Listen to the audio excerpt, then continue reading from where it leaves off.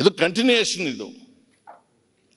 ಯಾಕೆ I P S ಅದು ಎಷ್ಟು ಜನ ಐ ಜಿಗಳು ಡಿ ಜಿಗಳು ಎ ಡಿ ಜಿಗಳು ಆಮೇಲೆ ಅವರವರಲ್ಲೇ ಗುಂಪುಗಳು, ಗಲಾಟೆಗಳು.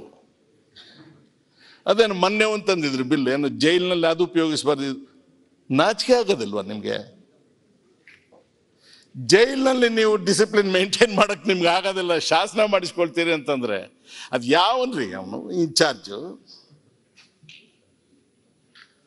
ಹೊರಗಡೆ ಬಿಡಿ.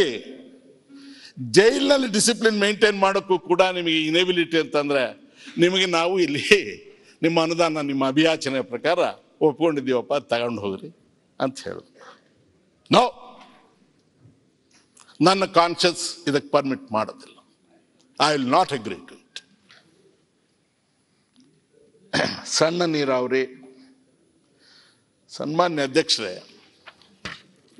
ತಾವು ನೀರಾವರಿ ಪ್ರದೇಶದಿಂದ ಬರ್ತೀರಿ. ನಾವು ಬಿಡಿ ಶಾಸಕರಸ್ತರು ಮಾಧ್ಯಮ ನೀರಾವರಿನೂ ಯಾವುದೂ ಇಲ್ಲ ನಮಗೆ. ಕೆರೆ ಆಯಿತು ನೀರಾಯಿತು ಈಗ ಅದೇನೋ ಬೆಂಗಳೂರಲ್ಲಿ ತೊಳ್ಕೊಂಡು ನೀರು ಕೊಡ್ತಾ ಇದ್ದಾರೆ ಪುಣ್ಯಕ್ಕೆ. ಅದನ್ನೇ ಕ್ಲೀನ್ ಮಾಡಿಕೊಂಡು ಮಹಾಪ್ರಸಾದ ಅಂತ ಕಣ್ಣಿಗೆ ಹೊತ್ಕೊಂಡು ಕೆರೆಗಳು ತುಂಬಿಕೊಂಡು ಸ್ವಲ್ಪ ಕಣ್ಣು ಬಿಡ್ತಾ ಇದ್ವಿ, ಬದುಕೊಳ್ತಾ ಇದ್ವಿ. ಈ ಮನುಷ್ಯ ಅದೊಂದು ಸಹಾಯ ಮಾಡಿಕೊಟ್ರು ನಮಗೆ. ಇದ್ರ ಮೇಲೆ ಅನೇಕ ಸಲ ಸಿಟ್ಟು ಬಂದರೂ ನಾನು ಇಂಥವು ಕೆಲವು ನೋಡಿದಾಗ ಅರ್ಥ ಸರೆಂಡರ್ ಆಗ್ಬಿಡ್ತೀನಿ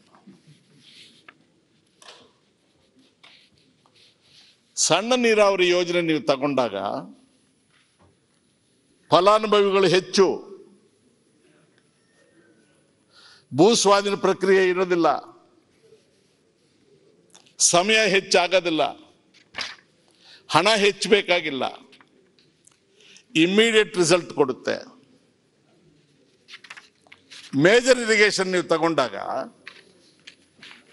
ರಾಮ ರಾಮ ರಾಮ ಭೂ ಸ್ವಾಧೀನದ ಒಂದು ಕಡೆ, ಅದಕ್ಕೆ ಬರೋ ವಕೀಲರು ಒಂದು ಕಡೆಗೆ, ಅದಕ್ಕೆ ಬರೋ ಲ್ಯಾಂಡ್ ಅಕ್ವಿಸಿಷನ್ ಆಫೀಸರ್ ಒಂದು ಕಡೆಗೆ, ಆಮೇಲೆ ಎಸ್ಟಿಮೇಟ್ ಆಮೇಲೆ ಇಂಜಿನಿಯರ್ಗಳು ಆಮೇಲೆ ಸಿಮೆಂಟ್ ಮಾರ್ಕೊಳ್ಳೋನು ಆಮೇಲೆ ಸ್ಟೀಲ್ ನ್ಯೂಸ್ ಫಸ್ಟ್ ಪ್ರತಿಕ್ಷಣ.